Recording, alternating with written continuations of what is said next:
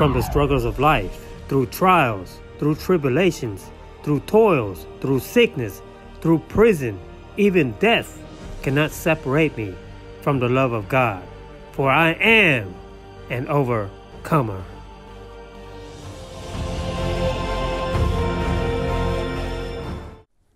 Hey, friends and family. So, what you just heard there was my new intro.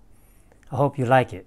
So, I got that from the book of Romans, chapter 8, verse 38 and 39. It reads, For I am persuaded that neither death, nor life, nor angels, nor principalities, nor powers, nor things present, nor things to come, nor height, nor depth, nor any other created thing shall be able to separate us from the love of God, which is in Christ Jesus our Lord.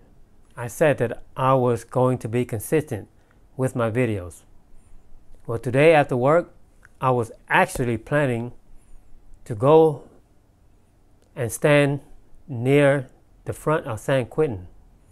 But however, I ran into this gentleman whom I thought was someone that I knew from prison. But except this time he had a bald head. And so I saw him walking his dog. And then it was right before you get into the gate to San Quentin. So there's a place called San Quentin Village. It takes you straight into the prison.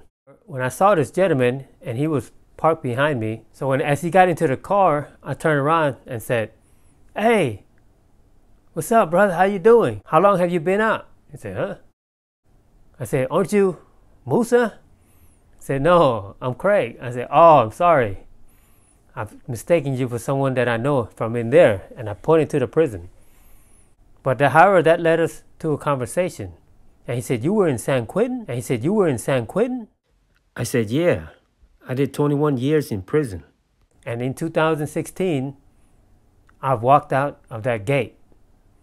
And I was actually here to film a video. And so I told him my testimony. I shared with him how I landed in prison and my story of how I met my pastor which led me to the church that I attend and also where I met my wife. So as I was sharing with him, he started to tear up. And he was saying, Man, your story really touched me. And so I asked him, Do you know Jesus?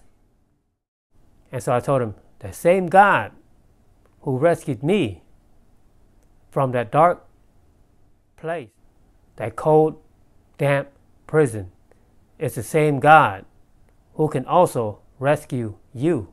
I asked him, Would you like me to pray for you? And then I prayed for him. And he actually had a good testimony. He was once homeless and now own a corporation. But that's besides the fact.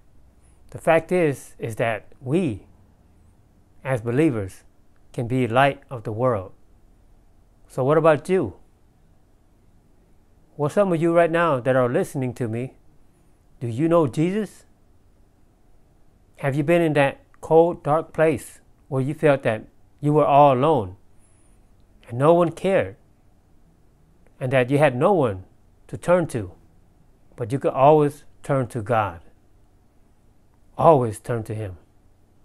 For He is the only true God. And the same God that rescued me from that prison cell, the same God who took me from the ground, from the dirt, from the mud, is the same God who can also rescue you